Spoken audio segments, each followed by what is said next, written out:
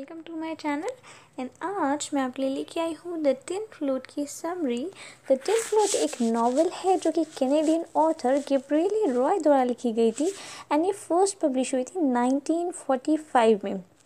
सो so, ये कहानी है एक यंग पुअर वेट्रेस की एक गरीब वेट्रेस की। सो so, ये जो कहानी है पहले जो ये नावल है ये पहले फ़र्स्ट पब्लिश हुई थी फ्रेंच में और इस पब्लिश हुई थी जिसका टाइटल था बोन हेयर द ओकेजन जिसका मतलब होता है सेकेंड हैंड हैप्पीनेस सो इसमें जो सेटिंग है इस प्ले की वो है मॉन्ट्रियल में एक कस्बा है छोटा सा गाँव है सेंट हेनरी सो so, इसमें कंट्री क्यूबेक है और जो टाइमिंग है जो सेट है जो टाइमिंग है इस प्ले की वो है फेबररी 1940 से मई 1940 यानी वर्ल्ड वॉर टू के दौरान ये कहानी है इसकी सेटिंग सो so, कहानी हम शुरू करते हैं। कहानी एक फ्लोरेंटाइन फ्लोरेंटीन की जो एक यंग वेट्रेस होती है और फाइव एंड टेन रेस्टोरेंट में काम करती है। सो so, ये कहानी है फ्लोरेंटीन की जो कि मॉन्ट्रियल में रहती है। वर्ल्ड वॉर टू के दौरान ये कहानी लिखी गई है और वहाँ पे रहती है मॉन्ट्रियल में। तो फ्लोरेंटीन की पूरी फैमिली जो है काम नहीं करती है और वही एक अकेली इंसान है जो अपनी फैमिली का पालन पोषण करती है, उसी के ऊपर ये ज़िम्मेदारी है।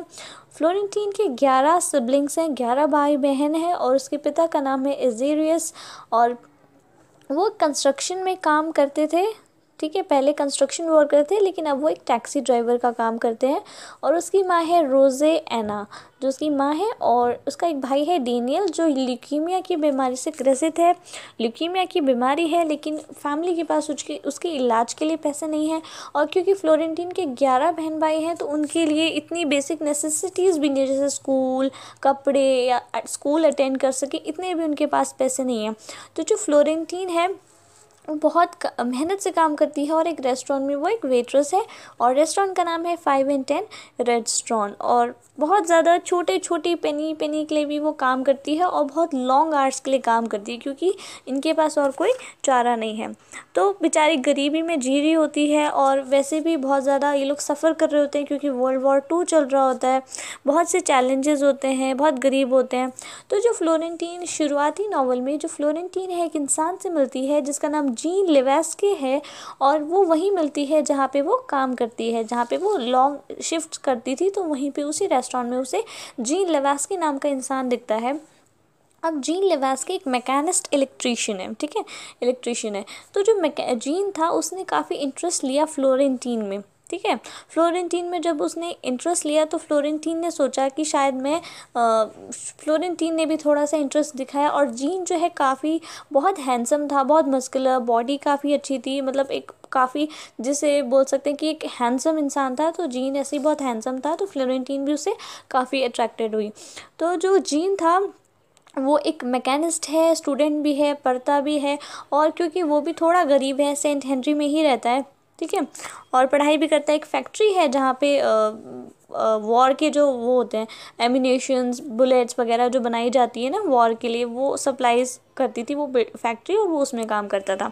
तो जीन जो है जीन के लिए सक्सेस बहुत ज़रूरी है, वो सक्सेस के लिए जीता है। वो सपनों में नहीं जीता तो वो बहुत मेहनती है, इसलिए वो पढ़ाई भी कर रहा है, वो काम भी कर रहा है। और वो कहता है कि मैं जो सेंट हेनरी से वो निकलना चाहता है, क्योंकि जो सेंट हेनरी जो कस्बा है, वहाँ ज़्यादातर गरीबी है और गरीब ही लोग रहते हैं, ठीक है? हायर अपर क्लास लोग नहीं रहते हायर क्लास वाले लोग नहीं रहते। तो एक बगल में एक नेबरहुड है, जिसको बोलते हैं एक छोटा सा कस्बा है वहाँ पे वेस्ट माउंट ठीक है नेबरहुड में, जहाँ पे हिल मतलब सेंट हेनरी के साइड में एक हिल है बहुत, और वहाँ पे वेस्ट माउंट बोला जाता है उस एरिया को, और वहाँ पे वो जाना चाहता है कि मैं सेंट हेनरी से निकल के मैं वहाँ जाऊँ वेस्ट माउंट में, क्योंकि वेस्ट माउंट में सब अमीर लोग रहते हैं। कोई भी गरीब नहीं रहता तो वो चाहता है कि मैं इस सब गरीबी से निकल के मैं हाई क्लास में रहूँ सोशल स्टेटस बढ़िया स्टेटस बनाऊँ। तो वो थोड़ा सा एरोगेंट भी है जीन ठीक है? तो अब वो फ्लोरेंटीन से कांटेक्ट में आता है फ्लोरेंटीन भी आती है और इनकी मीटिंग्स शुरू होती हैं, ठीक है? अब इनकी मीटिंग शुरू हो जाती है और काफ़ी दिन ये लोग मिलते हैं, ऐसी हल्की फुल्की बात करते हैं।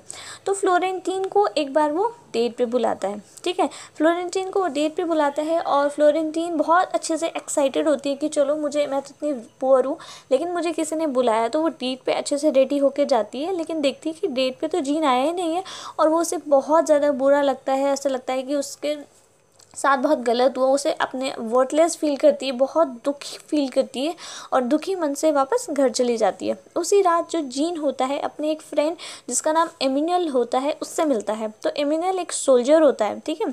तो वो वॉर से आया होता है एमिनल ठीक है? जंग लड़के अभी वापस आया होता है तो वो जीन अपने फ्रेंड एमिनल से मिलता है।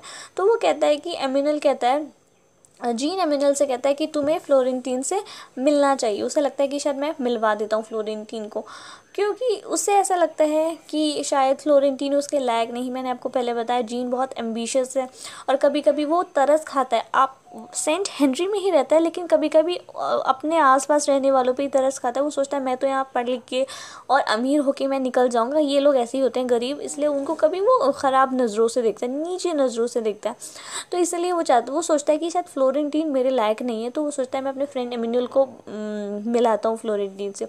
तो फ्लोरेंटीन अपने फ्रेंड एमिनल को कहता है कि हम मैं तुम्हें किसी से मिलाना चाहता हूँ, लेकिन वो फ्लोरेंटीन को बोलता है कि, बोलता है कि एक और डेट पे आने के लिए, ठीक है? उसको नहीं बताता कि मैं किसी से मिलवाने जा रहा हूँ, लेकिन कहता है कि मैं एक डेट एक और नेक्स्ट डेट रखेंगे और जिसमें तुम्हें आना है, ठीक है? तो फ्लोरेंटीन खुश हो जाती है। इस बार वो बहुत एक्सपेंसिव रेस्टोरेंट में बुलाता है फ्लोरेंटीन को, ठीक है? अब फ्लोरेंटीन आती है और फ्लोरेंटीन अपने एटिकेट्स डाइनिंग एटिकेट्स नहीं होते फ्लोरेंटीन में, क्योंकि उस बेचारे ने इतना सब कुछ नहीं देखा होता है, वो तो जस्ट वेट्रेस होती है।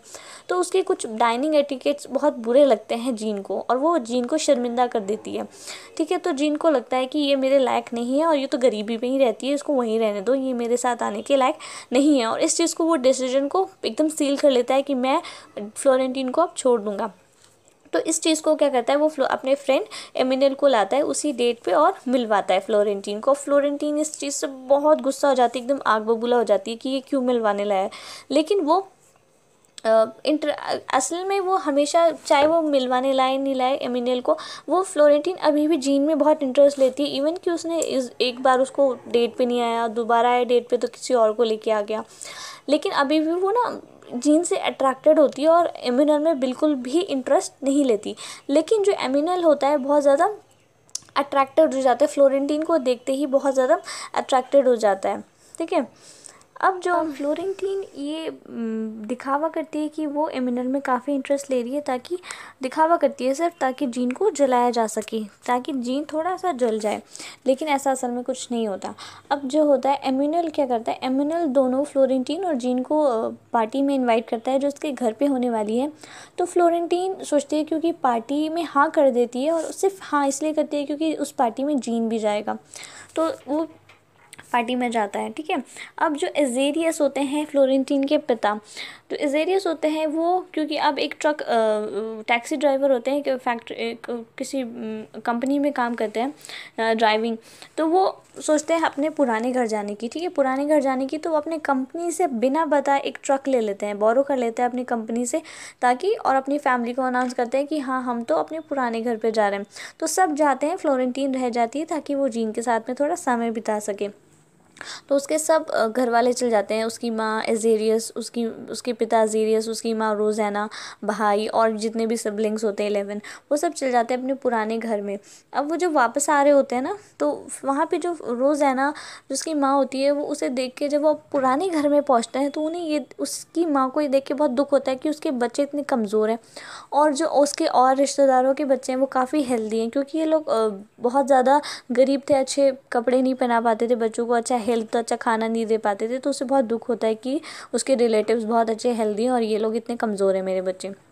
अब वापस आ रहे होते हैं, वो लोग ट्रिप करके अपने घर पे वापस आ रहे होते हैं तो जो पिता होते हैं जीरियस ठीक है, वो ठोक देते हैं गाड़ी, कार क्रैश हो जाता है, उनका ट्रक बहुत ज़्यादा बुरी तरीके से मतलब टूट फूट जाता है और अब ये बात कंपनी को पता चलती है तो कंपनी जो अजेरियस को निकाल देती है, क्योंकि अजेरियस बिना कंपनी के परमिशन के ट्रक बोरो किया और ऊपर से एक्सीडेंट भी करवा दिया तो इसलिए वो उसे कंपनी से निकाल देते हैं।